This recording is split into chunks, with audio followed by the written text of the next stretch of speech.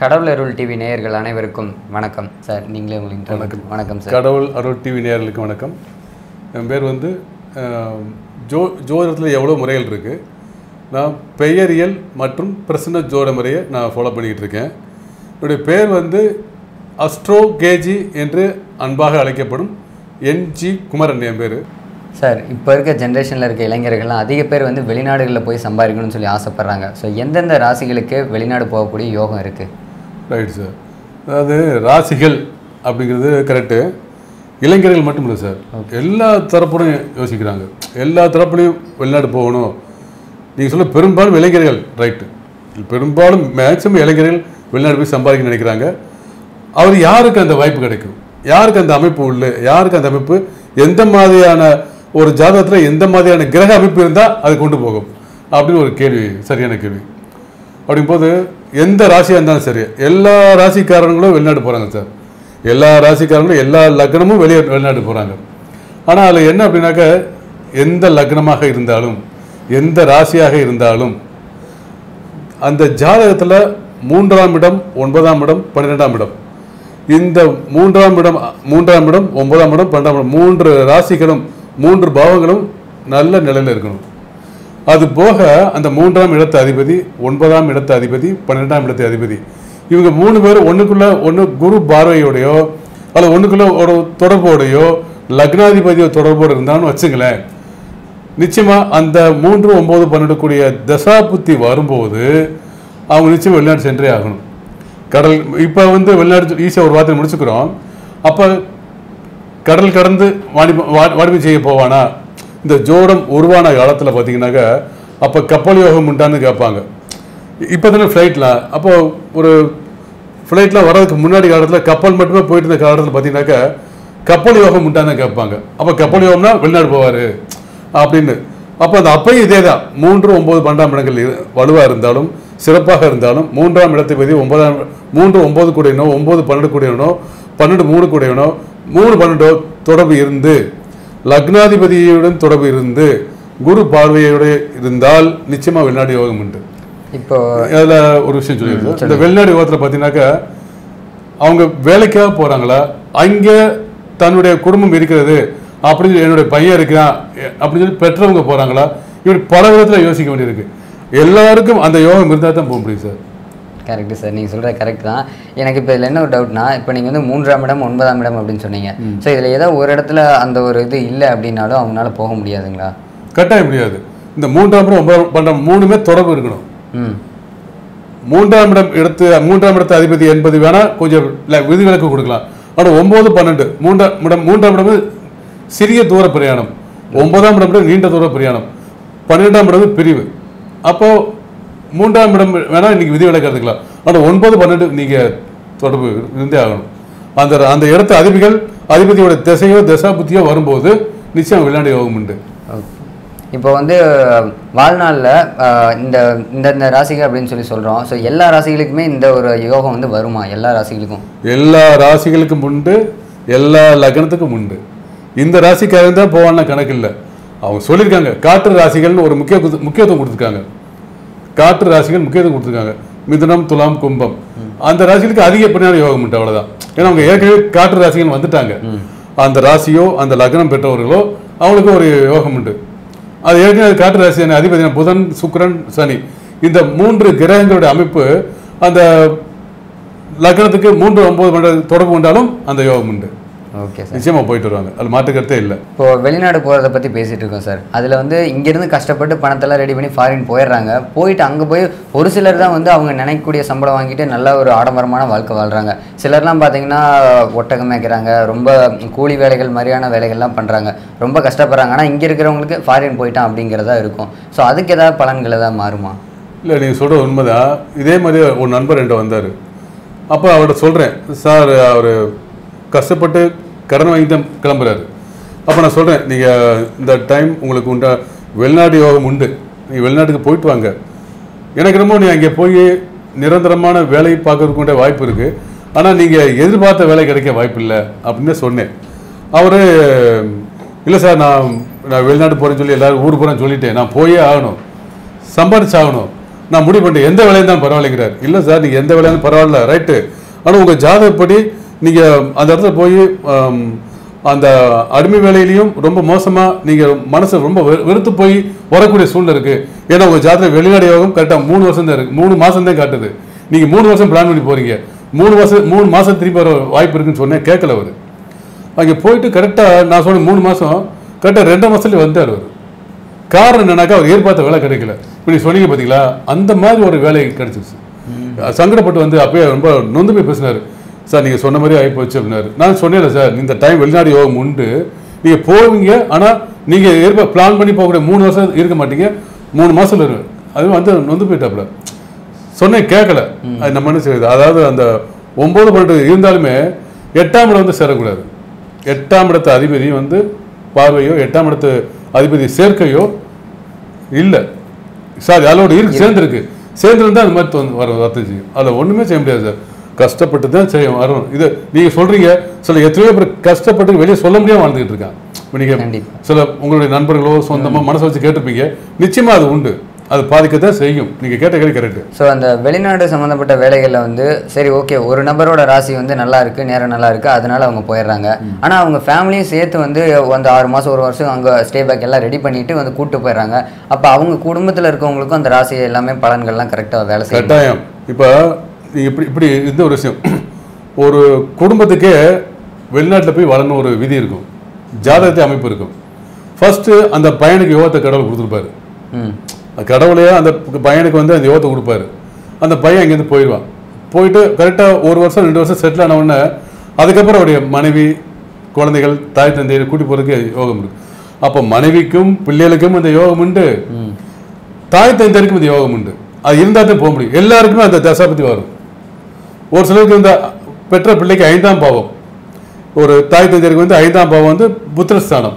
அந்த புத்திரஸ்தானத்து அதிபதி அவங்களுடைய ஜாதகத்துல ஐந்தாம் இடத்தோட இவங்களுடைய லக்னாதிபதி சேர்ந்திருக்கும்.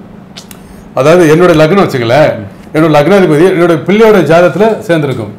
அப்போ அந்த அமைப்பு வரும்போது ஆட்டோமேட்டிக்காக கூட்டி போயிடும் இப்போ குடும்பத்தில் இருக்க ஜாதகத்தை பெற்றவங்க ஜாதகத்தை பார்க்கும்போதே ஸோ ஒரு பையன் வெளிநாடு போகிற மாதிரி இருக்கு. ஆமாம் சார் ஒரு ஐடியா இருக்குது நாங்களும் வெளிநாடு போல ஐடியா இருக்கும். ஒன்றும் பயப்படாதீங்க. உங்கள் பையன் போயிடுவான் ஒரு வருஷம் ஒன்றரை வருஷம் கழிச்சு உங்கள் பிள்ளைகளை கூட்டிட்டு போயிடுவான் இதோட கூத்தனாக்கா அந்த பையன் திருமணம் ஆயிருக்கும் இங்கே. திருமணம் மட்டும் அங்கே போய் அவனுக்கு குழந்தை பிறக்கும். அந்த ஊரோட சிட்டிசன்ஷிப் கிரீன் கார்டு அந்த ஒரு அந்த ஊருடைய உரிமை வாங்குறதுக்கு அமைப்பு இருக்கு. அப்போ இது எல்லாமே இருக்கு. பெத்தவங்களோட ஜாதகம் இப்போ இதை சொல்றீங்க. ஒரு அஞ்சு வயசு பையனை விட்டுட்டு போயிருப்பாங்க. ஆமாம் பையன் அந்த ஆள் போயிருப்பாரு அவர் போயிருப்பாரு. அவருடைய ஜாதகத்துல அங்கே போனதுக்கு அப்புறம் இந்த பையனை கூட்டி போகணும் இல்லையா? இந்த பையனுக்கு அந்த நான் சொன்ன முடியாது அந்த ஒன்பதாம் பண்ண அந்த யோகம் இருக்கும். இருந்தால் தான் அவன் போக முடியும். இன்கேஸ் வந்து அந்த பையனுக்கு வந்து யோகம் இல்லை அப்படிங்கிற பட்சத்தில் ஆனால் அம்மாவுக்கும் இருக்குது அவருக்கும் இருக்குது பையனுக்கு மட்டும் இல்லை அப்படின்னா அது எப்படி சார்? அந்த மாதிரிக்கு சான்ஸே கிடையாது. அப்படி இல்லைன்னா இங்கே ஒரு அந்த பையனுடைய அப்பா அம்மா இருப்பாங்க இல்லையா? அந்த இந்த பேரப்பிள்ளைக்கு தாத்தா பாட்டியோட இருக்கக்கூடிய வாய்ப்பு இருக்கும். இவங்க அங்கே இருக்கிறத விட செல்லமா பார்த்துக்குவாங்க. இவங்க தாத்தா பாட்டியோட தான் வளரணும் விதி இருக்கும். பெரும்பாலும் பிள்ளைகளை கூட்டி போறதுக்கு என்ன வழிமுறை அது கடவுள் கொடுத்துருவாரு. ரொம்ப ரேராக தான் நீங்கள் கேட்கக்கூடிய கேள்விக்கு அமையும். நான் அந்த மாதிரி வாழ்க்கை பார்த்துருக்கோம். பைபிள் பார்த்துருக்கோம் அப்பா அம்மா போயிடுவாங்க பிள்ளைகளை கூட்டி போக முடியாது. அப்படிலாம் எனக்கு தெரிஞ்சு அப்படி ரொம்ப ரேராக தான் இருக்குது ஓகே ஒருவேளை இந்த பையனுக்கு உடம்பு முடியல அங்கே கூட்டி போனோம்னாக்க அந்த கூட்டி போன அங்கே மனைவிக்கு வந்து பிரெக்னர் பிரெக்னர் பிரசவம் பார்க்க வேண்டிய சூழ்நிலை இருக்கும். பையனை கூட்டி போனா முடியாது அவங்களே விட்டு போகக்கூடிய சூழ்நிலை ஓகே பெரும்பாலும் நூற்றுக்கு தொண்ணூத்தொம்பது பர்சன்ட் கூட்டி போகிறதுக்கு வாய்ப்பு இருக்கு. அந்த மாதிரி வரும்போது பெத்த தாப்பனுக்கும் பிள்ளைகளுக்குமே வந்து அந்த ஒன்பதாம் இடம் பன்னெண்டாம் இடம் அஞ்சாம் இடம் மிக தொடர்பு அருமையாக இருக்கும். Okay okay. அதெல்லாம் சான்ஸே இல்லை. இப்போது நம்ம இந்தியன் கவர்மெண்ட்டில் இல்லை தமிழ்நாடு கவர்மெண்ட்லேயே நிறைய பேருக்கு நிறைய வேலை கிடைக்குது. ஆனால் அதையும் விட்டுட்டு பார்த்தீங்கன்னா ஃபாரினில் போய் அங்கே கவர்மெண்ட்டில் எனக்கு வேலை கிடைக்குது. இதை விட பல மடங்கு சம்பளம் அதிகமாக கிடைக்குது அப்படின்னு சொல்லி வேலை பார்க்குறாங்க. ஸோ அதுக்கு ஏதாவது பலன்கள் ஏதாவது இருக்கா சார்? அருமை சார். அதாவது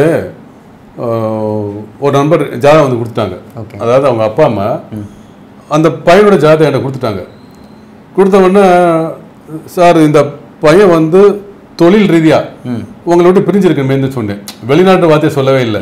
வெளிநாட்டு வார்த்தையை சொல்லவே இல்லை. அந்த தாப்பனார் வந்து ஜாதகம் கொடுத்த உடனே உங்க பையன் உங்களை விட்டு தொழில் ரீதியாக பிரிஞ்சிருக்கணுமே சார் அப்படின்னா அவர் ஆமா அப்படின்னாரு.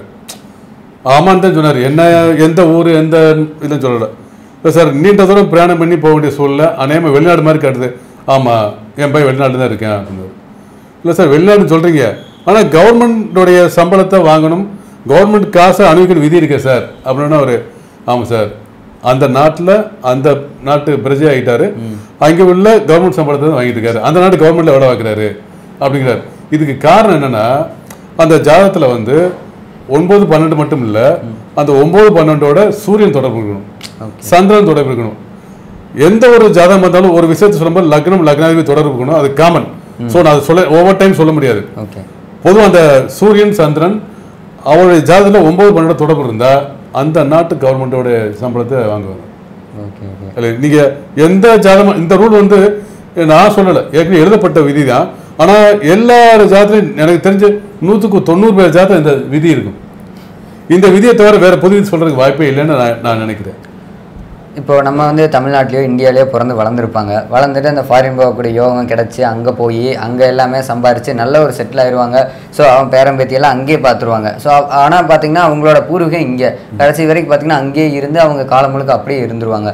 ஸோ அதுக்கு ஏதாவது கிரக மாற்றங்கள் ஏதாச்சும் இருக்கா சார் நிச்சயமா உண்டு. அதாவது இதில் வந்து பார்த்தீங்கன்னாக்கா ஒரு சிலர் ஃபேமிலிலாம் பார்த்தீங்கன்னாக்கா அங்கேயே இருப்பாங்க. ம். நீங்கள் அங்கேயே இருப்பாங்கிறத விட இந்தியாவுக்கு ஒரு முறையாவது வரமாட்டாங்களா? வருவாங்களா மாட்டாங்கன்னு கேள்வி. அப்படி இல்லை. ஏதாவது ஒரு டைமில் வந்துட்டு போவாங்க. ஆனால் வாழ்நாள் முழுதும் லைஃப் அங்கே தான் இங்கே வரவே முடியாது. அவங்களோட குடும்ப சூழ்நிலை அந்த தொழில் சூழ்நிலை அந்த உதாரணத்துக்கு அந்த கவர்மெண்ட்டோட ஜாப்போ ஏதோ வாங்கியிருக்க அந்த அங்கே பண்ணும்போது அந்த தொழில் நிமித்தமாக குடும்ப சூழ்நிலை காரணமாக இங்கே வர முடியாது. அந்த மாதிரி ஜாதகம் இருக்குது அது ஒரு அது அந்த மாதிரி நண்பர்களையும் பார்த்துருக்கேன். அதில் எப்படின்னாக்க ஒன்பது பன்னெண்டு மட்டும் இல்லை. ஐந்து ஒன்பது பன்னெண்டு மட்டும் இல்லை இதில் மூன்றாம் இடமும் தொடர்படும். மூன்றாம் இடம் வந்து சிறிய தூர பிரயாணம் சொன்னேன். ஆனால் அந்த மூன்றாம் இடமும் ஒன்பதாம் இடம் பன்னெண்டு மூணு சேர்ந்து ஐந்தாம் இடத்தை அதிபரோட தொடர்பு கொண்டால் நிச்சயமா அவங்க அங்கேருந்து வரவே மாட்டாங்க. அவங்க அங்கேயே அவங்க பிள்ளைகளுக்கு திருமணத்தை பண்ணி அங்கேயே சிட்டிசன் வாங்கி அவங்க பேரம் பேத்தி எடுத்து அவங்களுடைய வாழ்நாள் முழுவதும் அங்கேயே இருப்பாங்க. இந்தியாவுக்கு வரணும்னா முக்கியமான வேலையா வந்துட்டு போகலாமே தவிர அங்கே நிரந்தரமாக இங்கே இந்தியாவில் இருக்க வாய்ப்பே கிடையாது. இந்த கிரக அமைப்பு எங்கிட்ட இருந்தாரும் எனக்கு தெரிஞ்சு ரொம்ப பேரை பார்த்துருக்கேன். வெளிநாட்டு பேசுவாங்க. அவங்க தேவைக்கு என்ன தேவையோ ஜாத ரீதியாக பலன் கேட்டு விட்டுருவாங்க. ஆனால் இங்கே வர ஐடியாவே இருக்க மாட்டார். அதோட இங்கே இங்கே உள்ள மக்கள் சொந்தத்தை பூரா கூட்டி போய் அங்கே வேலைக்கு வேலை வாங்கி கொடுத்து சந்தோஷப்படுத்துவாங்க. ஓகே. அப்படி சில அமைப்புலாம் இருக்கு. அதெல்லாம் வந்து ஒரு அற்புதமான வாழ்க்கை. ஆனால் என்ன நம்ம நினைப்போம் சொந்த ஊர்ல இல்லையேன்ட்டு. ஆனால் அவங்களுக்கு அதை அந்த மைண்ட் செட்டே இருக்காது அந்த நாட்டோட வாழ்க்கையை பிடிச்சி போயிடும் அந்த நாட்டில் மிகப்பெரிய பொறுப்பில் இருக்கவங்க இருக்காங்க. ஏன் இப்போ நம்ம அங்கே எத்தனையோ இப்போ நம்ம சில இப்போ லண்டனில் பேசும்போது பார்த்தீங்கன்னாக்கா ஒரு ஒரு பேர் சொல்லுவாங்க. இவர் வந்து இந்திய வம்சாவளியை சேர்ந்தவர் அப்படின்னு. போட்டிருப்பாங்க. அப்போ என்ன அர்த்தம்? அவங்க முன்னோர்கள் அங்கே போய் எங்கேயோ செட்டில் ஆகினாங்க அப்போ அவங்களுக்கு வர சான்ஸே இல்லை. ஆமாம் அவங்க இந்தியா பத்தி பேசும்போது ஓ எனக்கு முன்னோர்கள் இந்தியா அப்படின்னு பெரு- பெருமையா பேசிக்கிறாங்க அவ்வளவுதான். அவ்வளோ ஓகே சார் இப்போ வெளிநாடு போயிடுறாங்க. போனதுக்கப்புறம் பார்த்தீங்கன்னா அங்கே நல்ல வேலை நல்லபடியாக செட்டில் ஆயிடுறாங்க. கடைசியில் பார்த்தா வீட்டில் ஒரு பிளான் பண்ணி வச்சுருப்பாங்க. ஆனால் அவங்க பார்த்தீங்கன்னா அங்கேயே லவ் பண்ணி திருமணம் பண்ணி அங்கேயே செட்டில் ஆயிடுவாங்க. ஸோ இதுக்கு ஏதாவது கரெக்டு நீங்க சொல்றது கரெக்டு இப்போ அந்த பையனுடைய ஜாதகத்துல ம். அந்த பையனுடைய ஜாதகத்துல வந்து பார்த்தீங்கன்னாக்கா அதே தான் அந்த ஏழாம் இடம்ன்றது கடத்திர ஸ்தானம் இது எந்த நாட்டிலே எந்த நாட்டு ஜாதகம் வந்தாலும் ஏழாம் இடம் கடத்திர ஸ்தானம் இது அந்த நாட்டுக்கு போன தானே கிடையாது. அவருக்கு அந்த நாட்டுக்கு போன சமயத்துல தான் அங்கே தான் திருமணம் நடக்குன்னு முதலே ஆரம் வெளியிட்டான் அங்கே போனதுக்கு அப்புறம் எழுதப்படல. பிறக்கும் போதே அவர் ஜாதகத்துல வந்து இவருக்கு பொண்ணு இங்கே கிடையாது. வெளிநாட்டுக்கு தான் பொண்ணு. அப்படின்னு அன்னைக்கு எழுதப்பட்டுருச்சு. ஸோ இவர் அந்த நாட்டுக்கு போன உடனே இந்த நாட்டு எந்த நாடோ அந்த நாட்டுடைய அந்த நாட்டு கு- பெண்ணைத்தான் திருமணம் பண்ணி விதி. ஓகே. அந்த நாட்டில் பிறந்த பெண்ணைத்தான் திருமணம் பண்ண விதி. அது மாற்ற முடியாது. அது பண்ணித்தான் ஆகணும் விதி தான் பண்ணித்தான் ஆகணும். இது நம்ம அவ்வளோதான் ஏன் பண்ணோம் இப்படி இப்போ உங்களுக்கே லவ் மேரேஜ் பண்ண தான் படித்தானே ஆகணும் எந்த பொண்ணா இருந்தாங்க எந்த ஜாதி மதம்லாம் கிடையாது இல்லையா? கண்டிப்பாக அதே மாதிரி அவர் அந்த நாடு போயிட்டாருன்னா அந்த டைம்ல இவருக்கு திருமண காலகட்டங்கள் வரும்போது அந்த டைம்ல அந்த ஊர் அந்த ஊர் பண்ண திருமணம் பண்ண விதி இருந்தால் பண்ணித்தான் ஆகணும். அதை சொல்லிடுவோம் போகும்போது சொல்லுவேன் இவரை வீட்டுக்கு அந்த ஊருக்கு அனுப்புறீங்க அனுப்பாதீங்க. அவர் அங்கே இருக்க போனால் கல்யாணம் சொன்னால் கேட்கணும் இல்லையா? சொன்னால் கேட்க மாட்டாங்க.